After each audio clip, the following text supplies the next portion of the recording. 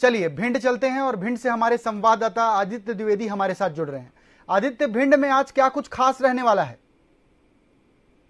जी, बिल्कुल आपको बता देना चाहूँगा, भिंड में राजनीतिक गलियारों में सुखबुगाहट तेज हो गई। वहीं आपको ये बता दें कि तमाम राजनीतिक दल जो भी है, वो दो हज़ार तेईस के चुनावों को लेकर लगातार क्षेत्रों में भ्रमण कर रहे हैं और अपने अपने दावे प्रस्तुत कर रहे हैं। तमाम संभावित प्रत्याशियों की ऐसे, मानो बाढ़ आ गई हो, ऐसी झड़ी लगी है। अलग अलग तमाम फेसबुक पोस्टों के माध्यम से ये दर्शाया जा रहा है कि भिंड विधानसभा क्षेत्र से संभावित प्रत्याशी फलाने फलाने लेकिन आपको ये बता दें कि जो राजनीतिक दल है एक आपको यहाँ भिंड में ये भी बता दूँ कि भिंड में लाहौर विधानसभा ऐसी है, जहाँ करीब 35 वर्षों से कांग्रेस का कब्जा है। वहीं आपको बता दें कि लगातार लाहौर विधानसभा क्षेत्र में मुख्यमंत्री शिवराज सिंह चौहान दौरे कर रहे हैं। वहीं आपको ये भी बता दें कि इन दौरों पर इन मीडिया पर प्रदेश के जो है, पैनलिस्ट हैं, डॉक्टर अनिल भारद्वाज, उन्होंने भी मुख्यमंत्री शिवराज सिंह चौहान और प्रदेश के भारतीय जनता पार्टी के अध्यक्ष उनको सीधी चुनौती भी दे डाली। उन्होंने कहा है कि हमारे डॉक्टर जो नेता प्रतिपक्ष हैं, डॉक्टर गोविंद सिंह जी,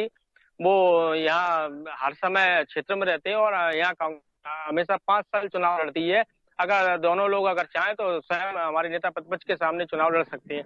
वहीं आपको बता दें कि भिंड में जो सफ़ाई को लेकर बहुत गंभीर स्थिति बनी हुई है। आज हम अभी यहाँ खड़े हुए हैं, वार्ड नंबर उनतालीस में और श्री कृष्ण नगर में यहाँ हमारे साथ कुछ लोग मौजूद हैं। यहाँ की स्थिति ऐसी है कि यहाँ लोग निकल नहीं पाते हैं, बच्चे स्कूल नहीं जा पाते हैं, गलियों में पानी ऐसा लबालब भरा हुआ है। यहाँ कुछ हमारे साथ महिलाएँ भी हैं जो इस समस्या से जूझ रही हैं और जो पानी लगातार सड़कों में भरा हुआ है लोगों के घरों में पानी भर रहा है लेकिन यहाँ नपा प्रशासन की कोई भी शोध लेने को तैयार नहीं है।